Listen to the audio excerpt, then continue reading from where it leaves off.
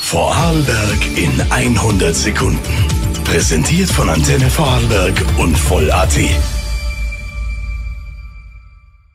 bin David Kieber, schönen Mittwoch. Nach den Anschlägen in Brüssel gestern ist man auch in Vorarlberg schockiert.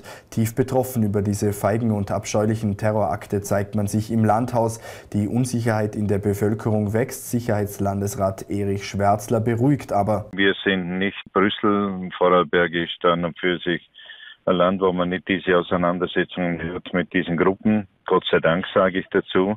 Aber trotzdem sollte man nicht sagen, dass wir 100% Sicherheit haben, aber eine relativ hohe Sicherheit, dass äh, bei uns solche Anschläge nicht stattfinden. Trotzdem werde man die Lage genau beobachten und wenn nötig die Sicherheitsvorkehrungen erhöhen.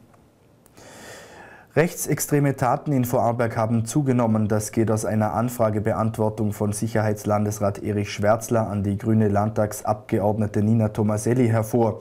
In den letzten zwei Jahren haben sich die rechtsmotivierten Taten verdoppelt. Bei Verhetzung gab es von den Jahren 2014 zum Vorjahr sogar mehr als eine Vervierfachung.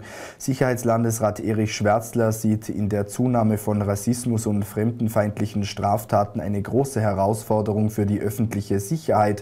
Auch für die Grünen ist der Anstieg erschreckend. Jener 78-jährige Skifahrer aus Deutschland, der vergangene Woche am Hochjoch mit einem 63-jährigen Skifahrer zusammengestoßen ist, ist in einem Krankenhaus in Deutschland gestorben. Das berichtet die Polizei.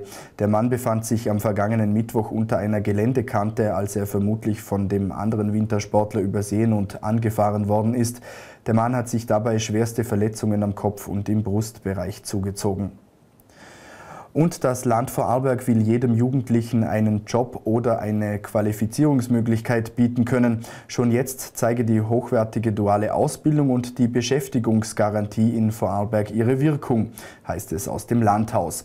Trotzdem müsse man am Ball bleiben. Deshalb arbeitet das Land eng mit Jugendbeschäftigungsinstitutionen wie dem Bewerbungstraining für Jugendliche und dem Jobhaus zusammen. Auch finanziell werden die Institutionen unterstützt. Damit Dankeschön fürs Zusehen und bis morgen.